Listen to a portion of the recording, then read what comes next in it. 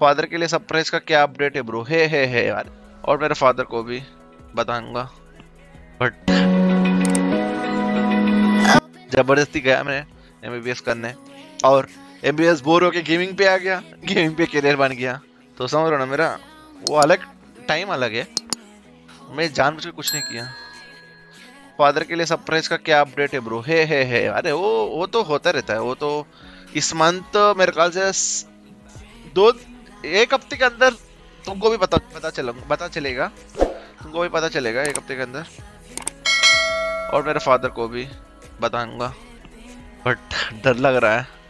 कोई दिक्कत नहीं।